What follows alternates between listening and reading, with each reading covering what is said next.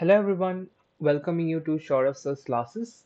And today we are looking at the IIT JAM Economics paper 2023, question number 45. So we consider the Keynesian cross model where we are given the consumption function, the tax function, the income identity. And if b equals to 0.7 and t equals to 0.2, then we need to find the Keynesian multiplier. So if you all recall, Keynesian multiplier is nothing but dy by dg. So this is exactly what we're supposed to calculate. So let's start with the identity. y is equals to c plus i naught plus g naught. Bring down the consumption function. It is c naught plus b into y minus t plus i naught plus g naught the tax function has been given to be minus t times y.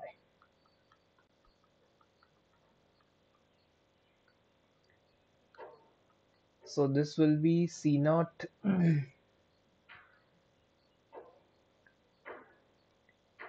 plus b into y minus ty minus b times t naught plus i naught plus g naught. Take all the y terms to the left. So you'll be left with 1 minus b into 1 minus t times y is equals to c0 minus bt naught plus i0 plus g0. So for the government expenditure multiplier, we need to find out the change in y for change in g. So if we differentiate both sides throughout, 1 minus b into 1 minus t dy is equals to c naught will not change, t naught will not change, i naught will not change, only d will change. So that becomes dg. So dy by dg is equals to 1 by 1 minus b into 1 minus t. So if you look at the figures that are given to you, b is 0.7 and t is 0.2.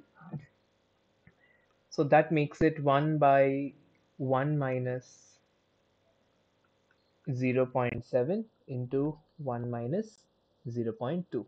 So that is 1 by 1 into 0.7 into 0.8. So that is 1 minus 0.56.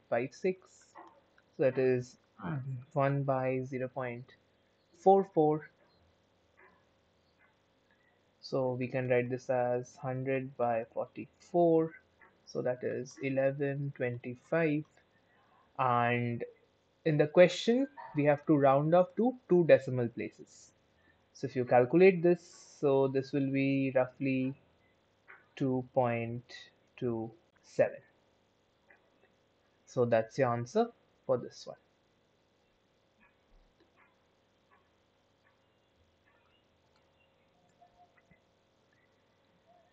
Now let us come to question number 46 of the 2023 JAM paper.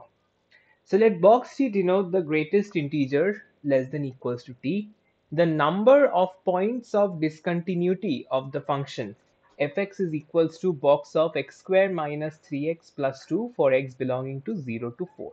Okay, so let's write down the function once more. fx is equals to box of x square minus 3x plus 2. So this thing, this quadratic inside the box function can be factorized. So x square minus 2x minus x plus 2. So this will basically be giving you box of x minus 1 into x minus 2. Alright. Now, the range that we are considering is from 0 to 4. From 0 to 4. And this quadratic inside the box function will become 0 at points 1 and 2. And if you recall the method of intervals, for values of x more than 2, the quadratic will be positive. Values of x lying between 1 and 2, it will be negative. And for values less than 1, it will be positive. Okay.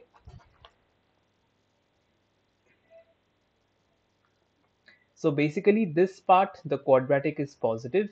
This part, it is negative, And this part, it is positive. So since we could factorize the quadratic, now let's take these two one by one. You consider only this box of x minus 1. Let's consider this function. Had it been only the box of this, how would you write box of x minus 1? It would simply be box x minus 1 by properties of the box function since 1 is an integer it will simply be box x minus 1 okay now if you recall the graph of the box function. If I can just draw it once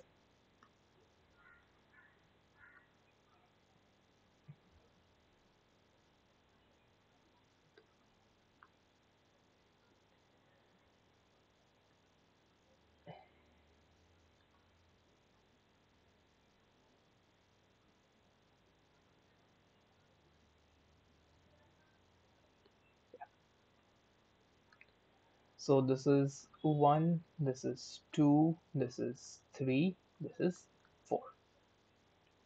So there is a point of discontinuity at 0, there is a point of discontinuity at 1, 2, 3 and 4, right? Because the box function is a step diagram that goes like this. And in this manner. so all the five integer points that are there in my consideration are discontinuous. So if you consider this function alone, this has five points of discontinuity.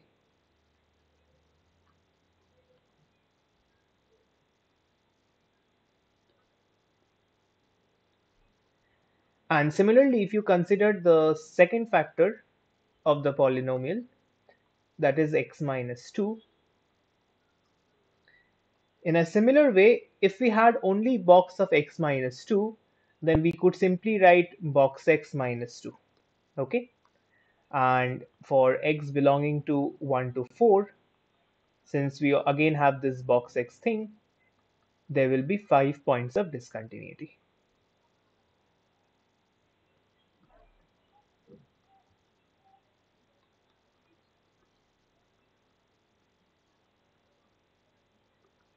So these two points are present together and since in the original function these two are together so total points of discontinuity would be 5 plus 5 10 total points of discontinuity 5 for the first one 5 for the second one adding up to give you a 10 okay? So the number of points of discontinuity for the function is equals to 10 Now let us proceed with question number 47 of the paper. Let capital E be the area of the region bounded by the curves y equals to x square and y equals to 8 root x where x greater than equals to 0. Then 30E is equals to this. So E is equals to the area between y equals to x square and y equals to Uh, 8 root x x greater equals to 0. So in order to find the area under the curve, we first need to find out the point of intersections. So y equals to x square, y equals to 8 root x. So x square equals to 8 root x.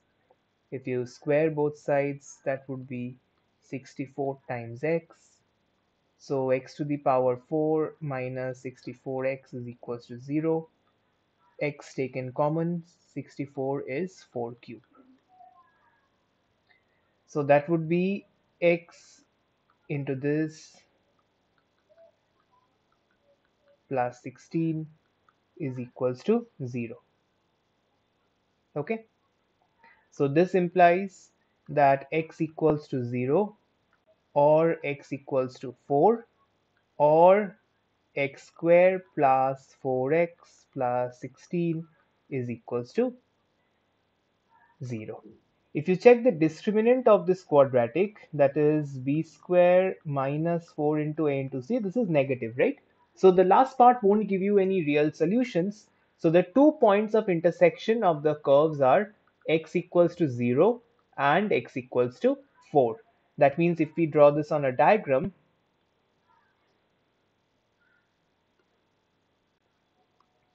so y versus x, 8 root x would be a concave function y equals to 8 root x and y equals to x square would be a convex function so y equals to x square. The two points of intersection of the curves are 0 and 4 so that means the area E would be this area the area between the two curves right so E is basically integration from 0 to 4 8 root x minus x square dx. Okay, so that is integration from 0 to 4 8 root x minus x square dx. So if we straight away do the calculation, so that would be 2 by 3 x to the power 3 by 2 minus x cube by 3 this entire thing taken from 0 to 4 so that means 2 by 3 2 square to the power 3 by 2 minus 4 cube divided by 3 so that is 2 cube that is 8 by 3 minus 64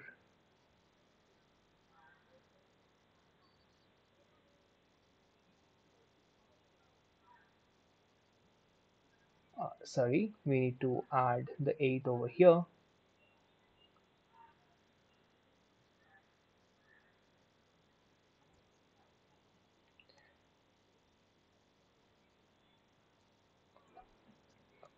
so that will make it a 16 over here and the rest can follow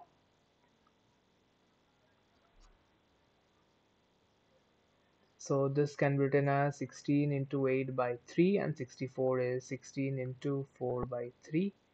So 16 by 3 will be taken common. So 16 into 4 by 3. So this is the area and we are supposed to find out 30 times E. So 30 into 16 by 4 by 3. So that makes it 640. Okay. Now, as you are told in the question to round off to one decimal place, you can write your answer as 640.0. Okay, since it has been given in the question to round off to one decimal place. All right, thank you. Now let us move into question number 48 of the paper. A firm has a production function y equals to k to the power 0.5 L to the power 0.5 faces a wage rate of W equals to 4, rental rate R equals to 4. The firm's marginal cost is equals to how much? So in order to find the marginal cost, we need to first find out the cost function. And if you all recall that for finding out the cost function, we have at optimal MPL by MPK should be equals to W by R, right? Since W equals to 4 and R equals to 4, in this case, MPL by MPK should be equals to 1. So given Y equals to root KL, so what would be MPL by MPK? So that would be del Y by del L by del Y by del k. So that is half L to the power minus half k to the power half and this would be L to the power half k to the power minus half. Half and half will get cancelled. So this will be k by L. Now k by L should be equals to 1 which implies that the optimal amount of k should be exactly equals to optimal amount of L. Now if you replace this value in the production function, y has been given to be root over k into L. So if you replace k by L, so that will become L squared. So the optimal amount of L star is also y and that is also the optimal amount of k star. Therefore, the cost function would be C of y which is WL star plus R K star. So both are y so that would mean it will become W plus R into y. And what is the marginal cost? It is dC by dy which is W by R, W plus R sorry. W is 4, R is 4 and that turns out to be 8. Alright. So the answer to this in integers is 8. Thank you.